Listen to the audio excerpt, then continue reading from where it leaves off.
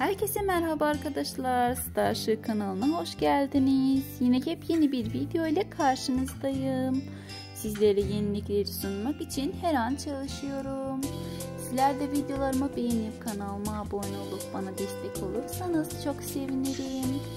Ada Masalı dizisi bu akşam Star TV'de yayınlandı. Ada Masalı oyuncuları Alpna Rus ve Ayça Ayşin Turan'ın başta olmak üzere Star TV'de Instagram hesabından e, canlı yayın yaptılar. Sonrasında Çeşme'de birlikte ilk bölümü izlediler. Bununla ilgili tüm görüntüleri sizler için video halinde derledim. Umarım beğenirsiniz.